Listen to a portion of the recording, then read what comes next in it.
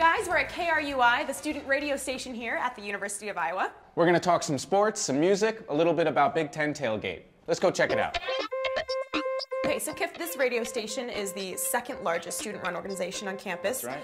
Uh, who all can get involved in this? Is it just students? It's primarily students. My name's Kif Richmond. I'm the sports director at 89.7 KRUI FM. We are primarily a music station. Okay. We do a lot of underground indie bands, a lot of local bands. As far as sports programming goes, which I'm responsible for, it's mostly talk shows. Good morning, Iowa City. Welcome to a special edition of Sports on KRUI. I'm your host, Kif Richmond. In studio, we've got Melanie Collins and Michael Lair of Big Ten Tailgate.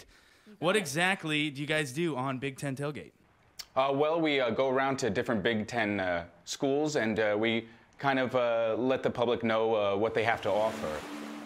Yesterday was my first time ever scuba diving. So here with the Scuba Club, guys, started in 1999, finally recognized as a sports club on campus in 2007, so it's just a little over 10 years old. How has it kind of evolved since it was started?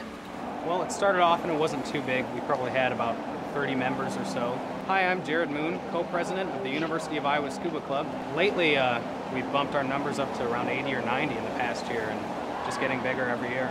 You know, I chose to sit out of scuba today uh, for a couple of reasons.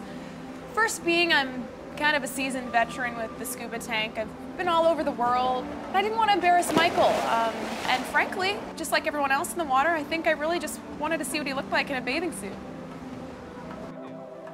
And you guys are kind of the go-to group on campus for any type of underwater maintenance that needs to be done on campus. What do they ask you to do?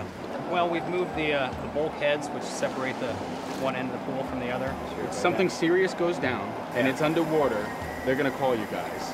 You're gonna suit up and you're gonna take care of business. We're like the Ghostbusters of water. That's Very right. nice. That's right. That's Very- right. It, it was a lot of fun. Big Ten picks. I got to hear it from people in the Big Ten network. Who they got on top? Ooh. I'm behind Iowa in a sense. I think, you, I think you're set up for a great season. It's a good answer. I, I don't know. And of course, I have to stand behind Penn State. Uh-huh. I have hopes for them too. I'm a bit of a Northwestern fan, and I like the underdog a bit, but uh, you know, the last uh, four years or so, uh, you know, they're getting some bowl action, so uh, you know, they're they're my team. All right, guys. Well, thanks for coming in. Anything Thank else you'd like to cover before we call it quits? No, it's been great. Yeah, we've had a We great time here in you having Iowa. Yep. Again, this has been a special edition, Big Ten Network edition of Sports on KRUI, heard only on 89.7, your sound and sports alternative. I feel like Iron Man.